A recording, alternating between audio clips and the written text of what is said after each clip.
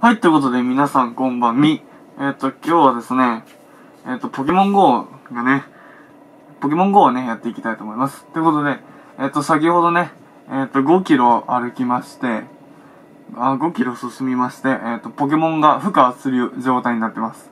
で、1匹、えっ、と、ニューラが、新しいポケモン金銀のニューラが孵化したんですけど、残り2つか3つぐらいね、あの、5キロの卵が孵化するような状態になってるので、これから何が生まれるか見ていきたいと思います。では行きましょう。はい。この状態です。さあ、何が出るんでしょう。さあ、決定的な瞬間です。いきます。ポチッさあ、何が出る？頼む。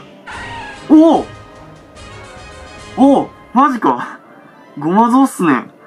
新しいポケモン出た。よし、これはお気に入りやな。さあ、もう一つ生まれるはずなんで、行きましょう。バチッお、来た来ましたねさあ、何が出る ?5 キロ卵。さあ、新しいポケモン来い。おー、ポニータか。マジか。はい。ということで、2つまででしたね。